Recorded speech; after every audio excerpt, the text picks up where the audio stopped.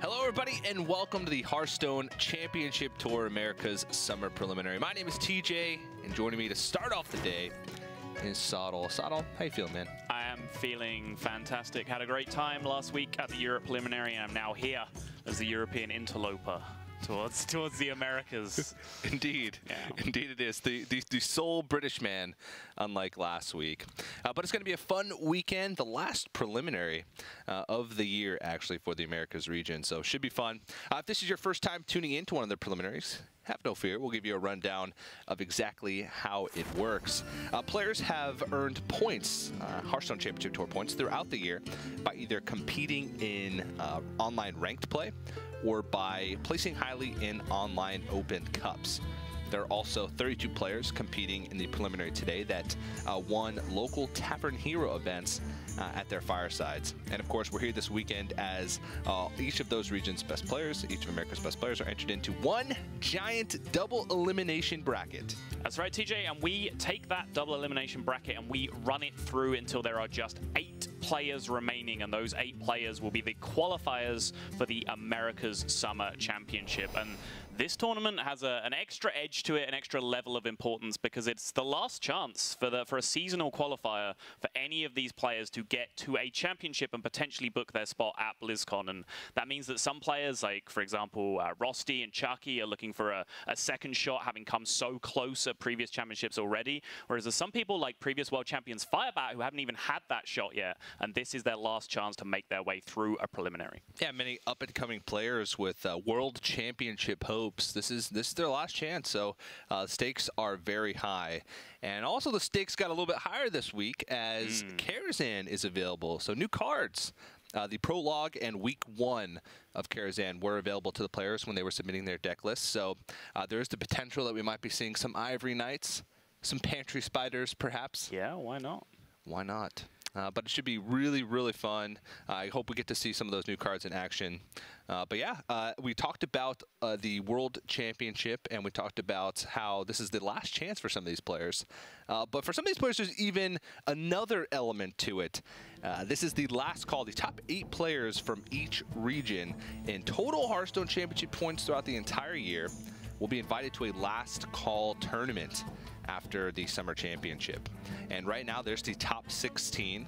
So the players like VLPS, Chalky, Noblord, Phone Tap, Astrogation, these players, not only do they want to try and qualify for the championship, but if they don't, they want to make it as high as possible to get as many points as possible to try and make it to the last call. That's absolutely right. And a couple of thing, other things that stand out to this to me. First off, Muzzy and Frozen topping the list is just incredibly impressive because many of the other big names on this list have got a big chunk of their points through either succeeding in prelims or qualifying for championships or a combination of both. You know, these tournaments in particular offer big chunk, chunks of HCT points, which means anyone in that top 16, first off, the players who are already in the top 8 will be wanting to do well to defend those spots, but those numbers 8 through 16, also if they can do well, have a good run in this prelim and even get to championship and have a good run there, they are still in with a shout to qualify through the last call. Indeed, and for the rest of the players that aren't in that top 16, the Americas preliminary is the last chance. Yes, uh, so to give you guys a bigger look at all of the players participating in this preliminary, let's go ahead and check over with Frodan, who's standing by with some of our friends at the Blackboard.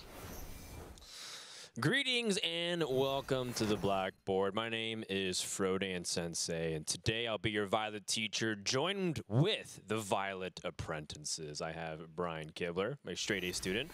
I have Nathan Admirable Zamora, and of course the teacher's pet, Cora Songbird Georgiou. So how are you guys doing? How you doing, Nathan? It's the first time we see you in a preliminary. Well, I'm pretty sure Sorcerer's Apprentice is what it makes, but uh, yeah, really happy to be here.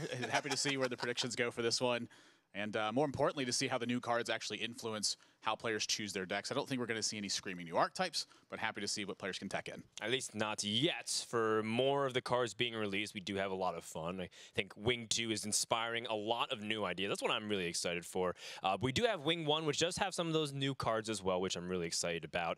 I'm also excited to see which players are going to be able to go through. Let's go ahead and introduce them to the audience of the regions that each player is participating. We have 168 players this weekend from North and South America, and even more locations. We're going to start things off on US West. Yeah, uh, California has a lot of representatives. Uh, we see the esports arena location in Santa Ana, a ton of well-known players. Uh, Rosti, the finalist from last season, Astrogation, Zalae, Teray, uh, all the way up the coast to Seattle and San Jose as well. LOK Shaddle, Bradford Lee, a lot of big names. Yep. Uh, in U.S. Central, we do have some notable names as well. People are familiar, of course, with players like Dog and JustSaiyan. Of course, uh, the Winter Championship finalist, Chess Dude, who's also number three in points. Definitely can't sleep on U.S. Central. Yeah, and then even head over to the east, you look at how stacked it is at the Fairfax location. Uh, with Chalky and Muzzy being new additions to Luminosity Gaming alongside Frozen and Phone Tap, uh, there's just a stacked amount of talent that's at Fairfax, including Winter's America Championship. And of course, we can't forget about Canada. Only two locations, but plenty of big names represented. Neobility, BB Gun Gun, Fibonacci, all really competent ladder players, Hot Form Purple, and of course, Cydonia, the America's spring champion. Yep, Latin America can't be slept on either. We've always had one player represented the championship. The previous season was PNC. In winter, we had Snail, who makes his reappearance in summer. That's a job well done there. I'm looking for breakout performances from Latin America, too. I, have been talking about Leo Mancaglorin for a while. I'm feeling this is their season. And then Tavern Heroes just qualified yesterday. Some well-known names in here, usually uh, mostly unknowns, but we see uh, Dart as well as Brian the Rat Cortade uh, showing up through the Tavern Hero Championship. It's uh, something to do with the Bryans, but I'm sure you guys had that special connection, or maybe it's just Admirable starting the memes. Uh, as with always, guys, with our preliminary, we're going to do some predictions just to give you guidelines on who we think, whether it's known or unknown players.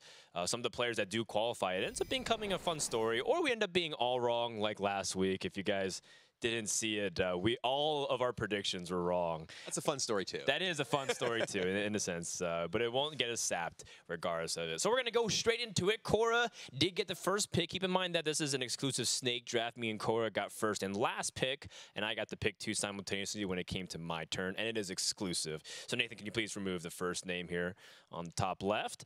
Cora had the first pick, and this shouldn't surprise many people. She went with Chalky as one of the players who's been very commonly seen at the top of America's scene.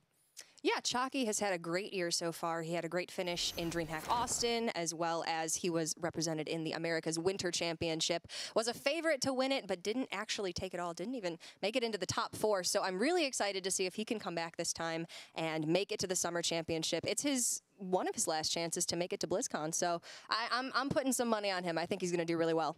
Yeah, and I, I, feel I feel pretty confident in that. If even if Chalky doesn't qualify this season, he has a very strong chance over two tournaments to potentially make it through. But it's very competitive. Only two spots remain. Uh, Sottle was our second pick. Now he's not joined with us, and he makes a pick that I think a lot of other people would not be surprised. Uh, you can go ahead and rip it, Nathan. You don't have to make it so dramatic. Uh, it's just saying from Tempo Storm. Uh, he says specifically that he feels like Saiyan has an amazing understanding at reading the meta. Uh, he agrees with almost every single point of analysis that he has when he's watching a stream or making his decks or pointing it out. So it's a very strong pick based off Sottle's resonance of ideology with Hearthstone and Saiyan. So I, I, I can't really disagree there. Any thoughts? I, think that you might be a little bit biased, you know, I, being a I Storm biased. player, but yeah, I Any, mean, anybody disagree say it, can it. leave the stage immediately. say it has has performed very well recently, and uh, you know, definitely a strong pick. Fantastic. Uh, Kibler, you were the third pick. Uh, you decided to go with Firebat 2014 World Champion. I want to say why, but I don't really feel like you, you actually just said why. He's the 2014 world champion. I Well, mean- that's my job. I'm supposed to ask you why. Well, I mean, Firebat, you know, he, he's a player who's branched out quite a bit uh, recently, doing casting as well as a lot more streaming and things like that. But he's clearly just a, a super, super competitive guy.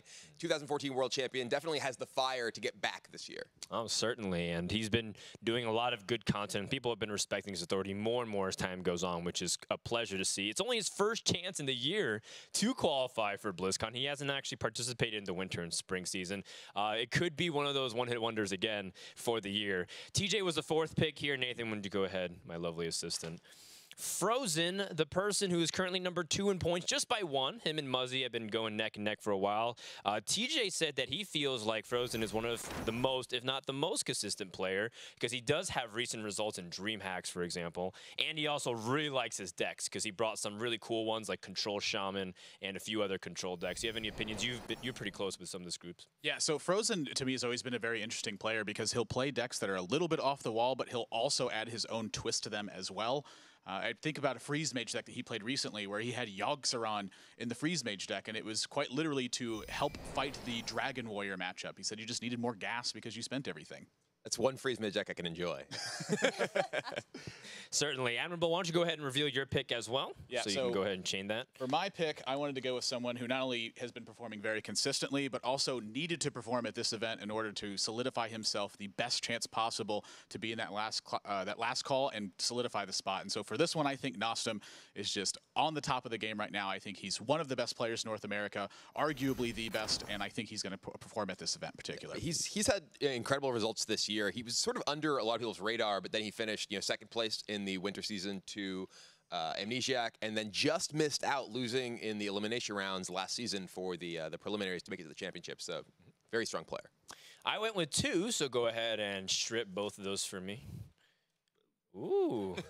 Wow. You don't know your own someone's strength, been to Nathan, the yeah. Gym. Wow. Clearly been working out. yeah. That forearm strength. So I went with two. I went with a head pick and I went with a heart pick. Uh, I can't really go against Amnesiac after watching his results both in winter and spring. He probably could have made spring if he wasn't uh, such a loyal and faithful brother to his family. Uh, he did his 10 sisters graduation, and I was doubting him a little bit in spring in the sense like, you know, I don't think he cares as much. I don't think he has that drive, but he does. And he and I think now that other people have qualified back-to-back seasons, I think that motivates him to also prove that he can do it too. So I'm not going against Amnesiac one more time. And Fibonacci, I just love his decks. His decks are so cool. I don't think they're the best decks, but I if there's one person that can always win despite the odds because of his weird deck, it's Fibonacci. Uh, it, it remains to be seen if his strange deck selection can be as effective in an environment where everyone knows the contents of everyone's decks. Uh, but uh, yeah, he's definitely a strong player who's put up uh, a lot of results in the past. Yeah, highly recommend you go check out his decks. Uh, Admirable, go ahead and show your second pick here as we're running out of time. Yeah, so for my second pick, I went with Yoetz Flow, a player that isn't often thought of when it comes to picking very top competitive talent, but I know he's got a great mind for the game. He practices a lot with Chalky and Nostam, and is just such a fantastic player. Understands his matchups really well, and that helps him execute. Yeah, uh, Chalky attributes his first and only Premier Tournament win, DreamHack, uh, this year to Yoas Flow, his main practice partner, who brought the same exact lineup. It could have been him winning, and then all of a sudden we're talking about him as one of the more known players. So I don't think that's a bad pick at all. TJ's second pick was Vank Swisher. Now this one was a little left field, and it wouldn't be a prediction, a caster prediction segment without some uh, very interesting picks. And he says the reason why is because he watches his stream a lot, and he really feels like he has a, a very decent grasp on the game. Uh, not to mention that he feels like he's on the upswing. He's just been winning a lot, and these kinds of momentum really does carry over. You know, players need to have confidence in what they're playing in their lineup, and he feels like he can be the one. So TJ's going for a lot of brownie points on this one. He also just has a great name. So Yeah, Vank Swisher. Great name. Yeah. Kibler, second pick. I actually really like this one too. You choose Rosti, I- a finalist from spring. Rosti was actually the player who really popularized the Dragon Warrior archetype uh, after success, not only at preliminaries, but also, of course, championships last season. Uh, he's actually brought not only Dragon Warrior to this event, uh, but a new Beast Druid deck. And, you know, it'd be interesting to see if this sort of aggressive variant on an old favorite has what it takes to pay off uh, for Rosti again. Yeah, I, I said the last season that Rosti reminded me of like another version of Fi- Firebat in a different way. Although I do feel like uh, it's not a coincidence that you chose both these very calculating players.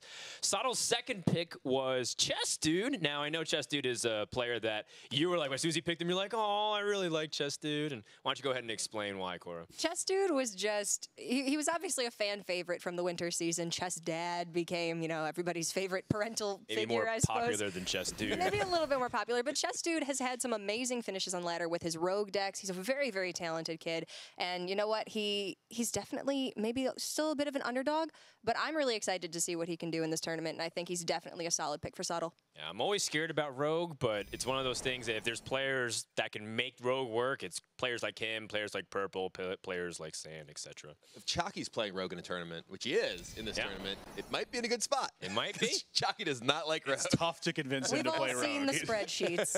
it's very difficult. Speaking of which, you picked Chalky, and you had the final pick the final say, and you also decided to go a little bit left field. It's LBYS. Why don't you go ahead and explain that? I did. You actually said that you went sort of with a head and a heart pick, and I did pretty much the same thing. LBYS, uh, I was actually on a team with previously. Uh, I've practiced with him and, and other players, Racy591, Ginge, other players that qualified for the preliminaries.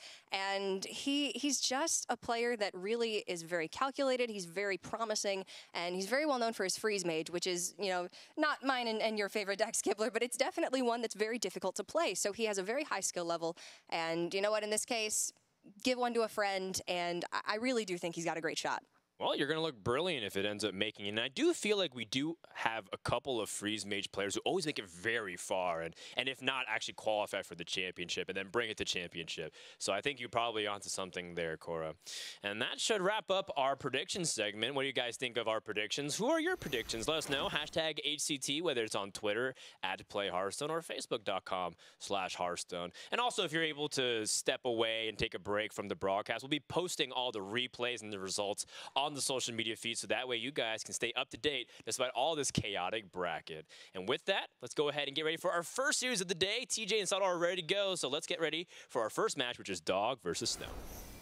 Thanks very much, Dan. The stage is set, Sottle.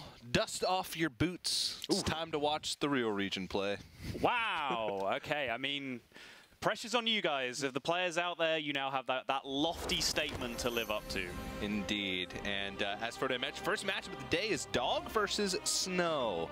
And uh, Dog, of course, well-known player uh, in the Americas. Snow, maybe not so much. Yeah, Dog definitely one of the biggest names in this tournament, one of the, the biggest streamers for sure, has the most eyes on him. Snow, not so much. We tried to do a little bit of research on him just before we came online, uh, found out that he is, by looks things, a Chinese-American player. Mm -hmm. um, definitely in his decks, you can see some of that Asian flavor. They have a little oh, bit, yeah. few different opinions on uh, how to build some of these decks than we do in the West. And uh, TJ, the look on your face is, uh, is giving it all away right now. Uh, I heavily disagree with his Tempo Mage deck, but I, yes, uh, it's very weird. Um, hopefully, we get, we will get it to uh, see it in play. Hopefully, because it, it wasn't banned away, nope. and I I'm excited to see. It's got like double Cabalist Tome, one Cult Sorcerer, some weird tech cards in there. So interested to see how that one's going to perform. Uh, but it is sort of an alternative. And not many people know how to really play around sort of these alternative deck styles sure. of common archetypes. And so that might be a, little bit of, a, of an edge, even though Dog knows his deck list, he might not know how to most efficiently play against it. Yeah, the thing that surprised me the most is looking at that Tempo Mage list, he chose not to include Firelands Portal in it, which is obviously one of the new cards that is available to him. But on that note, this is a N'Zoth Paladin coming up here from Dog, which does in fact include Ivory Knight as a single copy. So we could get game one, match one, new card action right here. If there's anything that Cabalist Tome uh, can do well, it's play better against control. you, you uh, laugh, but no, I, I, that okay. that statement is entirely accurate. I'm just looking at this opening hand of the Tempo Mage filled with fabled high tempo tempo cards like double Cabalist Tome. yes. Like, yeah. Uh, so uh, the reason why is uh, I've seen uh, players do extensive testing. I've done exten extensive testing of my own, and Cabalist Tome is uh, by far the lowest win rate card when played in traditional Tempo Mage decks. Um, so it, even though it can give you that extra gas that you need against control decks, sometimes it just whiffs, sometimes it's too slow. Mm -hmm. It's a risky pick to make in a meta where a lot of people are bringing fast decks like Dragon Warrior and Aggro Shaman. Right. Uh, so just some of the reasons why I don't like the choice as much as others. Yeah, I can support that. I think it's something, it's something like three weeks before I lost a game to Tempo Mage that played the card Cabalist Tome against me playing Hearthstone. Can't even remember. yeah, it was it was seriously a really really long time. But yeah, this is one of my least favorite cards in the game. I think it might come into its own later on when we start seeing Sure. more viable control mage archetypes. But right now, not looking very promising as the the early exchanges here have gone back and forth. Uh, Snow tried to generate some board pressure early, trying to hide that uh, Sorcerer's Apprentice behind the mirror images, but unfortunately Dog was just able to consecrate the board away, and now he has a nicely contested Acolyte of Pain against the Blood Mage Thalnos. Indeed.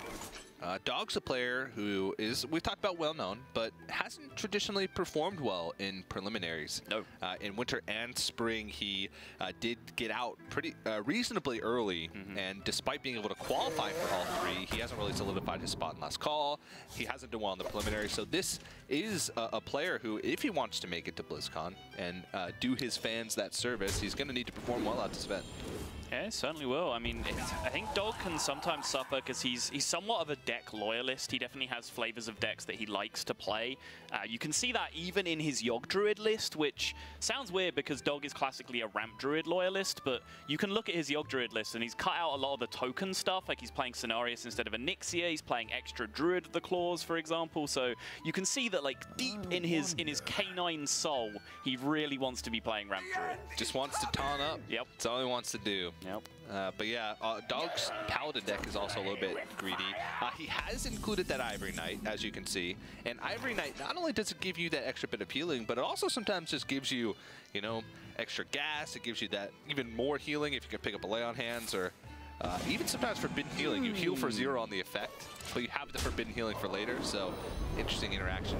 I, I really love this usage of, of Doomsayer from Dog. I think this is uh, one of the strongest ways to use Doomsayer in a deck like this, where you don't have a hard lockout like Frost Nova to go along with it, is you, you create kind of a win-win scenario where you develop Doomsayer on a board where you already have one or two minions, which feels counterintuitive, but you basically say to your opponent, like, you have to let me reset the tempo here, and otherwise I just get to keep my other minions as you clear out a Doomsayer. But while I've been waffling on about Doomsayers, we have seen the debut New of our card! Karazhan cards. Oh my goodness. Take a picture. All right, but yes, uh, you can see Dog is uh, sort of having trouble with this choice. Uh, it, this is not a Murloc and it's off Paladin or Right. a Murloc by any means, so anything can happen is not a good choice. It was between uh, Seal of Champions or Blessing of Might, I think, and Seal of Champions just sort of is the same thing, just better but higher costed. So uh, uh, you're in a longer game like this, you're probably going to be able to fit in the Seal of Champions, so I feel like that's usually going to be the better choice. What to Hey, do? I What bet Snow do? wishes that Cabalist Tome was a Firelands portal right now. I bet he does. Yeah. Yeah, buddy. He could kill a minion and also summon a minion and do you know, do you know with a what? single card. Do you know what killing a minion and playing your own minion at the same time is really good for? Tempo. Indeed. Hmm. We solved it. Pack it up, boys. We solved the meta. Well, this looks like a good Kodo target to me. Oh, yeah. And I, I, Snow did go with the Frostbolt to face. Not only does uh, Frostbolt's never, not really going to get more damage than five, and also one of the uh, strongest counters to Flamewaker is the True Silver Champion. At this stage, Dog has already drawn a lot of cards. Very likely that he has one of those, and he does. So Snow realizes that this is probably going to be my only chance to push damage if my Flamewaker can survive a turn. Yeah, I think the, the deck lists are revealed in this tournament. It's an important thing to remember. So Snow will have looked at Dog's lists and know that he's playing double True Silver, double Kodo. Yes. So the chances that there was one card in hand that killed that Flamewaker was incredibly high. So he at least chose to play around the True Silver outs and mm. made him have Kodo. Yeah, there, there are ways that this deck has that allows it to sort of play around Kodo. Uh, mirror image is one of them, but this deck only runs one mirror image, which is not currently standard in most Right. tempo mage lists. And we saw that that was cleared off, so there's no way that you can try and save that Flame Waker to make it have less of a chance of getting killed by both. So uh, now Snow's kind of in, I, I don't want to say he's in trouble because this deck packs a lot of burn. But again, deviating from uh, standard here for Snow, um, he, oh, nope, he, he actually, well, he runs one Cult Sorcerer, so a little bit less spell damage, not quite as much reach. This is a, an interesting turn here for Dog. It looks like he's scared of Mirror Entity, knowing that essentially these secrets could be from Cabalist Tome. He knows that one of them is if he was tracking the hand correctly. So it could be anything here. But I don't really see the harm in attacking face with the Kodo first and establishing that it's Ice Barrier. Like, it could be Vaporize, but in this deck, like, sure, you can try and get a 1-1 Vaporized, but the Mage can always ping it to prevent that. So Mm-hmm. what are you really going to get Vaporized? And in this situation, if he's going to go ahead and attack anyway and get the news that it's Ice Barrier, wouldn't you rather just jam Rag Light Lord into play right now? Yeah. Maybe a little bit of missequencing, but it's uh, you can't. Ah, I was gonna say you can't really blame him, but Yeah, in so- those types of situations you kind of can. It would take some pretty high-level hand tracking because you'd have to know which secret in which position on the mage's portrait was played from the position that's from Cabalist Tome, and then see that that secret activates when you attack face. Yes. So you rule out the Ice Barrier as the weird card, then you know the other secret is Ice Block, and therefore you can play Rag. I mean, that's a lot of attention to detail, but that's the level we should be expecting in this kind of tournament. Exactly. It's a level of attention to detail we should be expecting from Dog, who's been a staple in the competitive scene for so so long now. Sure. And uh, Snow is going to realize that uh, probably not going to win the long game, so let's just start chucking some burn at the face. Mm. Uh, unfortunately for him, though, well, now Dog is in a little bit of an awkward spot because of that not banking that 8 healing last turn. He doesn't have the guaranteed 8 healing from the Rag this turn because he's forced to trade into the Mana Worm here, and now he can potentially get the heal onto his Stampeding Kodo as well. In fact, I might have even liked leaving up the mana worm. Oh. Oh. I know, I know. Ambitious. But then he he he gets rewarded and trades into it and gets it because you're getting eight heal and you're going to take at least three. Look at this hand, though. That Mana Worm aids you next turn if you leave it alive. Like, you do not net healing. Uh, maybe. so I suppose you're correct. Yeah. All right. Well, Snow's just drawing cards. That's all he's been doing the whole game. It feels. Uh, Cabal's Tomes giving him cards. At Arcane Intellect drawing him cards. The couple threats that he's played, which it, there hasn't been many, No. have been killed very quickly and without remorse. I mean, really, how many threats are there in this deck? There are, like, just purely the minions. There is two mirror, two mana worms. Sure, those are threats. Blood Mage, not really a threat. Cult Sorcerer can get some work done. Sorcerer's Apprentices. Flame Wakers are legitimate threats. And then you have Drakes, Emperor, Yogg-Saron. Like, That's it. yeah, there's, there's just, like, you're not going to stick stuff to the board and do repetitive damage with this deck. Like, the plan is just burn the face. And when you're playing against a deck that has persistent onboard healing in the form of Ragnaros Lightlord and just burst healing with Forbidden Heals and all that business, as well as Ivory Knights, like, is that plan going to work? Not usually. No. But, you know, that this deck with double Cabalist Tome that gives you eight extra spells. Uh, well, six, since you normally play another spell in the place of that, uh, for Yogg-Saron. So you do just get more straight-up spells from Yogg. So let's look at damage in the hand real quickly. There is the 10 from the Pyroblast, which you'll have to spend an entire turn on. And he has Fireball, Frostbolt for 9 more, plus 2 Arcane Missiles, which, you know, let's be optimistic and say those do 4 to face or something crazy. He's going to need some something special from this Flame Waker here to be able to uh, make sure he has enough damage to push through. All right, well, if using Burn on big stuff like this usually means that you're on the Yogg plan. Yeah.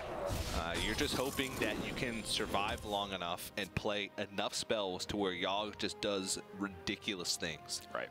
And I, it feels like he built his deck in a way that he has better chances against control control decks with Cabalist Tome, and also has Yogg, which gets more value from Tome to really blow you out of the game. I really, really like this play from Dog here as well because he's he's incorrect in his exact read, but I think he's identified the exact same thing that you just did, which is that looks like a setting up Yogg turn that my opponent just did on the previous turn. So I can pr- I can play around Yogg to an extent by playing Sylvanas and threatening to steal his Yogg and his spell effects for my own.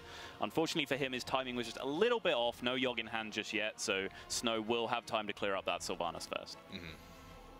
And Dog has his board is going to be a little bit vulnerable over the next couple turns. Snow can clear, What to but he's starting to run out of cards, to do? and there's still a lot of gas left for Dog. He hasn't hit his Tirion yet, so N'Zoth is still probably not on the table as far as plays go, because once this board is removed, it will only be Sylvanas. Yep. Um, but he has Wild Pyromancer quality if Snow were to build up a, a really weird board. Right. Uh, he, he does have humility if Yogg-Saron comes out and just does something ridiculous, but he, he doesn't want equality yet. So we'll see.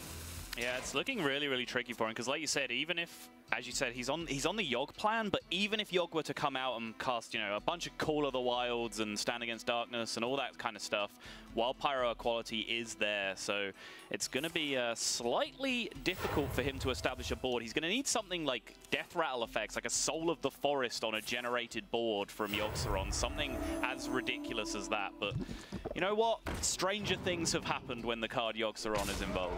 Yes, they have. Yes, they have.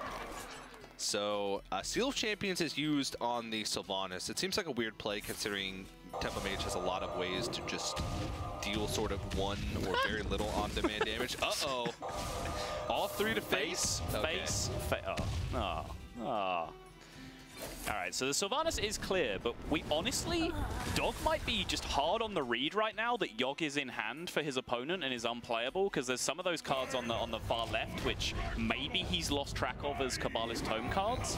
So we might see him just N'Zoth here for another Sylvanas potentially, although now the Emperor is up, that probably demands attention. Yeah, the Emperor as well. And if you play N'Zoth and just get back Sylvanas, the Emperor just gets a free trade into mm -hmm. the Sylvanas. Sure. And so you sort of waste that part of the N'Zoth. Either you want to play it. Oh, wow. oh, wow. Okay, well. I mean, I guess he has he has no way in hand apart from actually committing sure. a quality to this board of dealing with the Emperor. So I guess he's just decided, sure, you know what?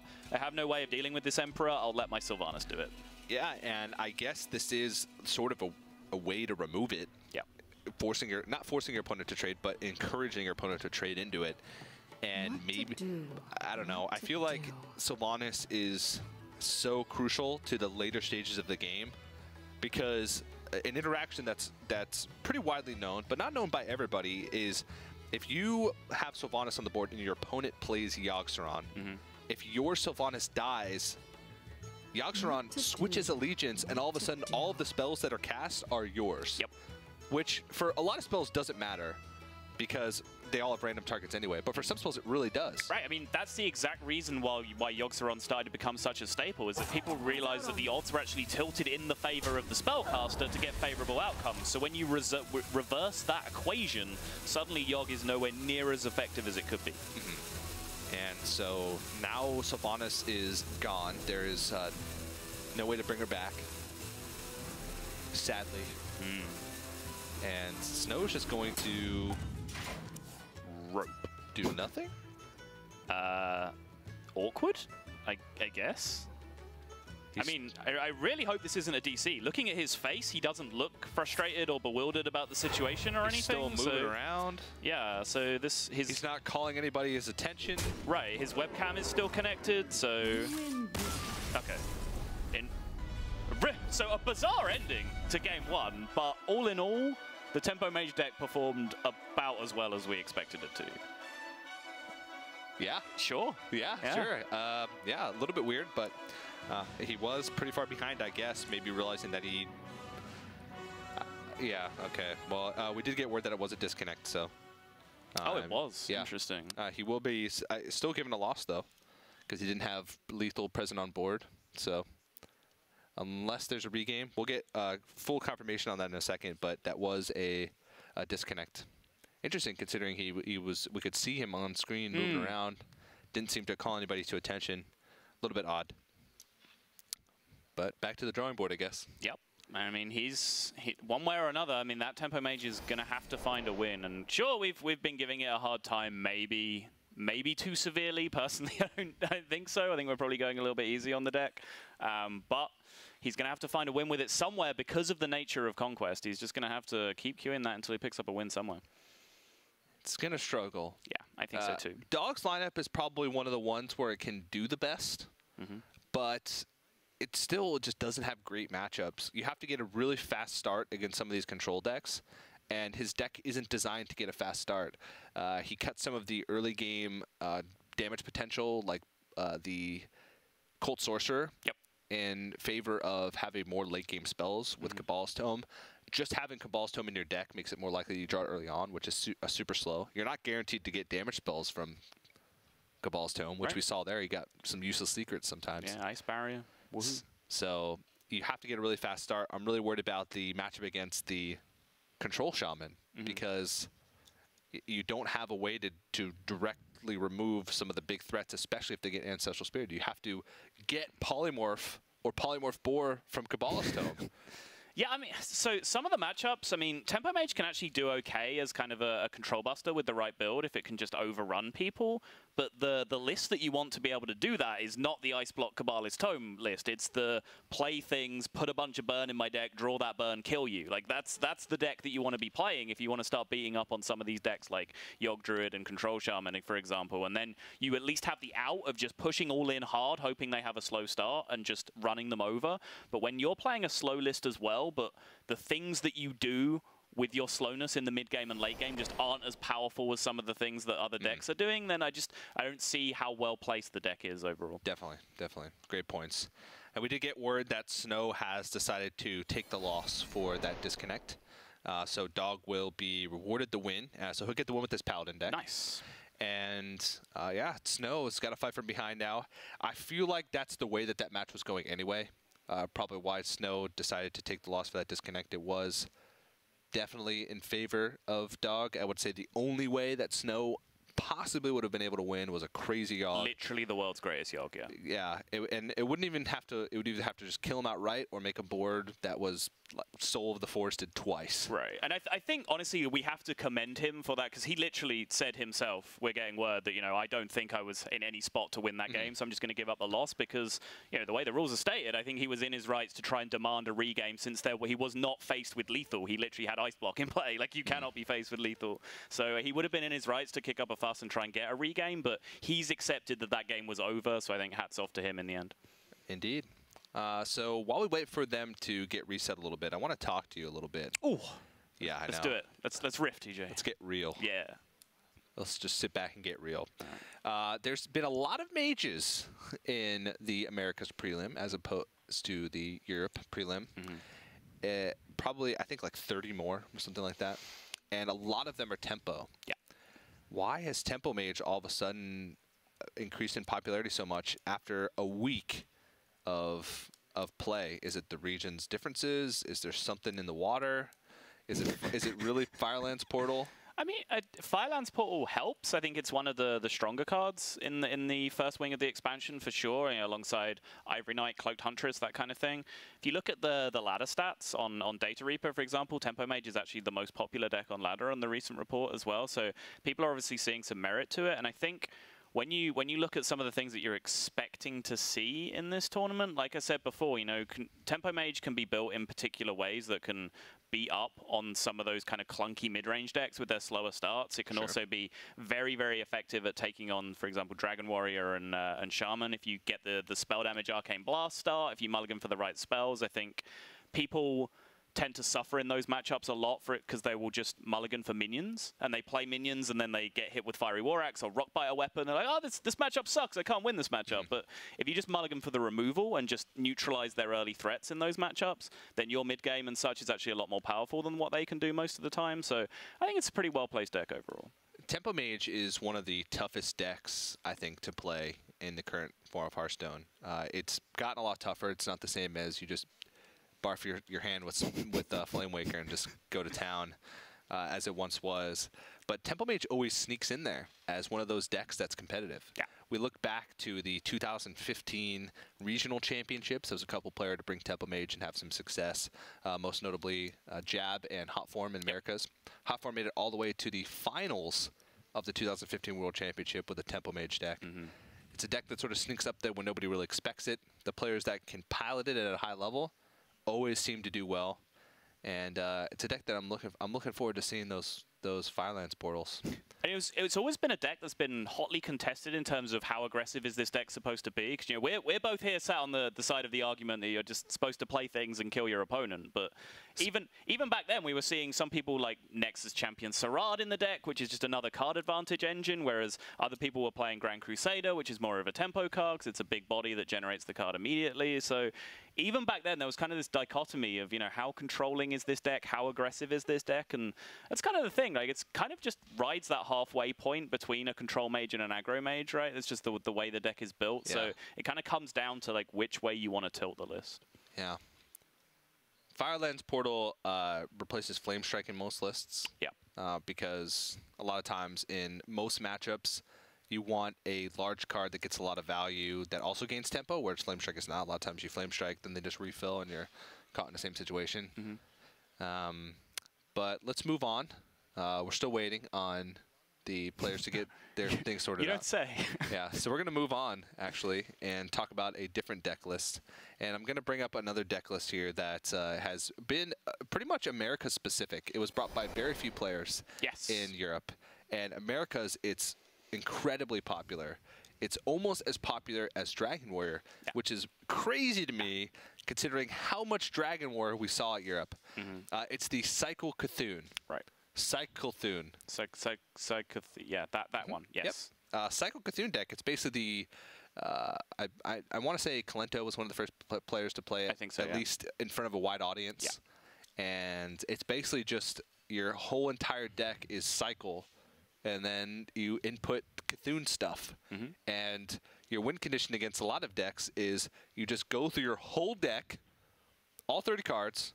You Emperor Thaurissan, you brand Doomcaller, and then your last two cards are C'Thun after your C'Thun died. Yeah. And then you just, like, 40 them with two C'Thuns at the end. It's great. It's ridiculous. Yeah. It's absolutely ridiculous. But the thing about it is, it works. It does, yeah. And I think one of the things that became apparent to me when uh, uh, Neville's made his big breakout with the OTK Worgen, that then other people started to pick up as well, is the Pyromancer commanding shout engine is just kind of ridiculous. It is. Like, you can do absurd things with that combination.